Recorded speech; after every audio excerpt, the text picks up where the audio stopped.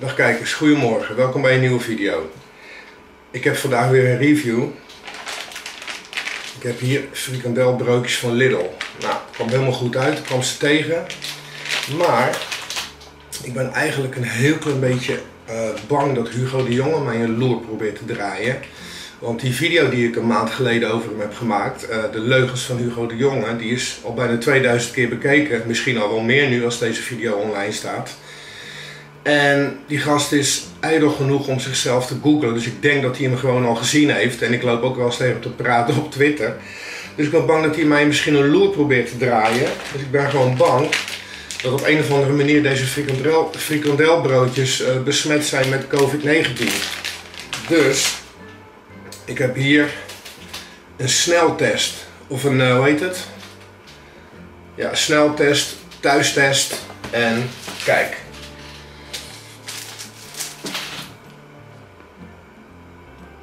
In deze envelop zit de uitnodiging om twee gratis zelftesten te bestellen. Nou, een lang verhaal kort te maken. Weet je wat dat kost Hugo? Deze zijn al, uh, geloof ik, 2,79 of zo per stuk. Nou, ik weet niet wat de inkoopprijs is, maar al zou die maar 50 cent zijn, dan ben je 8 miljoen kwijt aan belastinggeld. Want er worden er 2 naar 8 miljoen adressen gestuurd. Dus dat is 16 miljoen testen. Nou ja, reken maar uit. En had je daar niet de zorg van op kunnen schalen? Nou, misschien maar een idee hoor. Maar goed mensen, ik ben ook bezig met voorbereiden van een nieuwe Hugo de Jonge video. En daar heb ik even tijd voor nodig. En die komt hopelijk donderdag. Maar goed, ik heb trouwens, ik ga hier niet op reageren verder. Weg ermee. Ik heb deze gewoon gekocht. Ik denk, ik ga niet van jullie belastinggeld hier een beetje blij zitten doen met uh, gratis testen die helemaal niet gratis zijn. Ik heb de oven voorverwarmd op 180 graden. Nou, in de tijd dat uh, de oven voorverwarmt, ga ik kijken of deze dingen veilig zijn. Even kijken wat we moeten doen.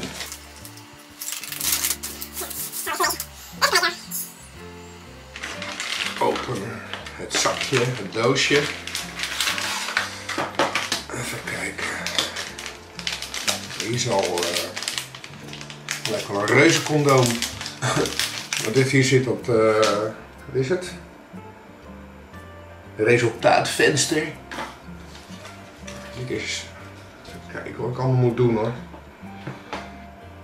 Even kijken. Wat is de buishouder? Oh, wacht. Oh, dit is de buishouder dus. Even kijken. Schroef het druppeldopje van de extractie bufferbuisje los. En dan plaats de buis in de buishouder. Kun je het zo zien? Even kijken. Ja. Nou, die kan weg. Open de verpakking van het wattenstaafje aan het uiteinde.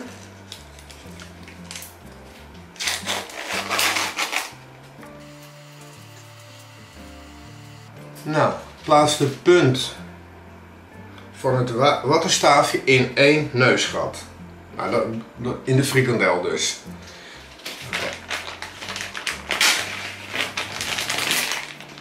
Openmaken. Oké, nou, dan zullen we eens inprikken. Hier. Even kijken. Draai het wattenstaafje vijf keer. En strijken tegen de binnenkant van de neusgat. 1, 2, 3, 4, 5. Nou, dan moet je hem in een ander neusgat stoppen. Nou, nog een keer. 1, 2, 3, 4, 5. Nou, dan moet het staafje in het buisje 30 seconden ronddraaien.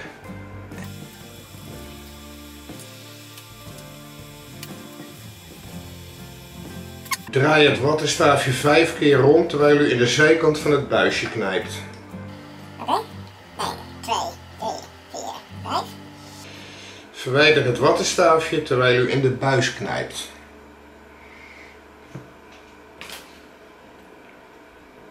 Doe de schroefdop op het, busje, op het buisje.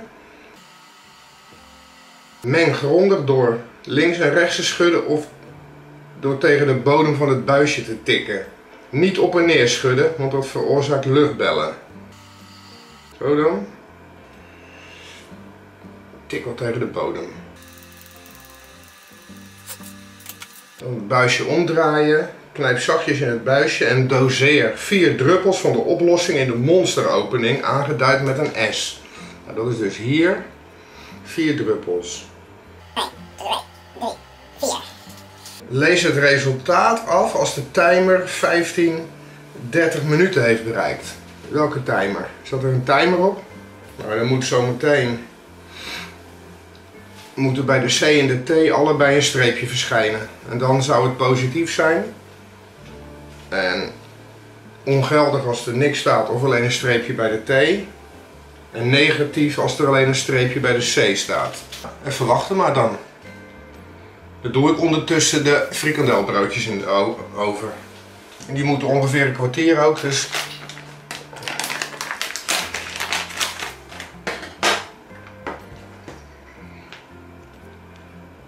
Oké, de 15 minuten zijn om. En er staat hier dat je... ehm, lees het resultaat af als de timer 15 tot 30 minuten heeft bereikt. Lees het resultaat niet af na 30 minuten.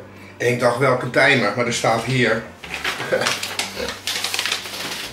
timer niet inbegrepen. En dan gaan we eens even kijken. Oh jee, en dit is echt serieus.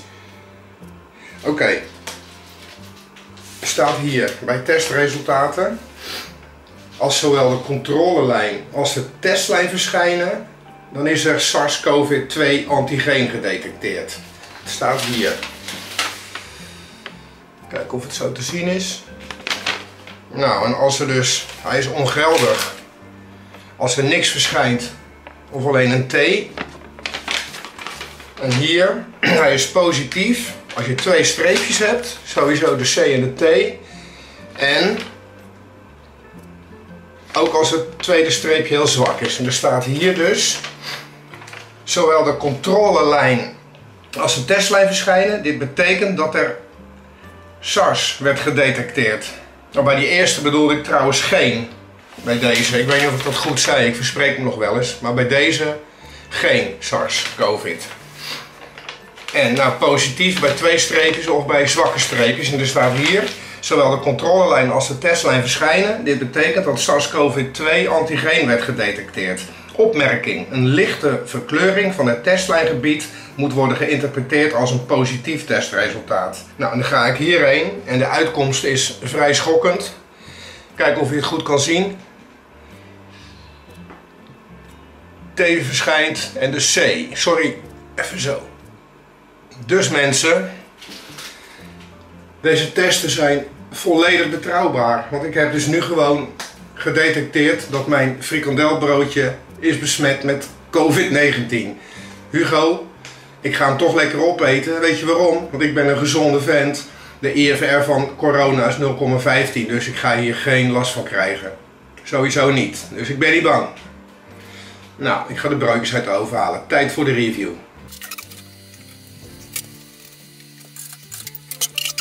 Kijk eens. Zijn flinke knoeperts. Ik weet niet wat ik ervoor betaald heb meer, maar het zal niet meer dan 2 euro geweest zijn. Ik denk rond de 1,50 of zo. Eh. Nou, en dit kan allemaal bij, eh, ja, dit moet waarschijnlijk, bij het oud papier. En dit moet met plastic afval. Nou Hugo, even nog een keertje. 18 miljoen van die, even kijken, ja, nee. 16 miljoen van die testen. Dat is 16 miljoen keer dit afval. Goed voor het milieu, man. En ondertussen zit ik te drinken uit een papieren rietje met plastic eromheen. Waar gaat dit over, mensen? Dit drinkt echt ook vreselijk vervelend. Mm. Wel lekker spul dit. Oké. Review. Er zit trouwens curry in dit broodje ook. En ehm, de frikandel is van kippen separato vlees, verder niks.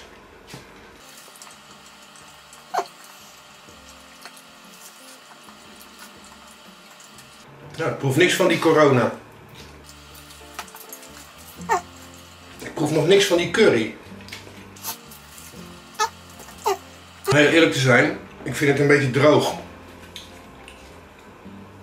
En die frikandel, ja het is een frikandel. Het is gelukkig geen vegetarische frikandel zoals uit die video van een tijdje terug. Twee weken terug, vorige week. Is wel oké, maar ik heb lekkerdere frikandelbroodjes op. Die ik zelf maak. Maar goed, voor die 1,50 hè, heb je een lekker ontbijtje. Mijn ontbijt. Echt, wat een ingenieuze uh, ding is dit, zeg hé. Zo snel ontwikkeld blijkbaar. Ook, net als die vaccins. vaccins. Maar het werkt gewoon. En is gelijk weer een mooie test ook om te laten zien dat ik helemaal geen last heb van uh, die van ga krijgen. Zonder sterke vent.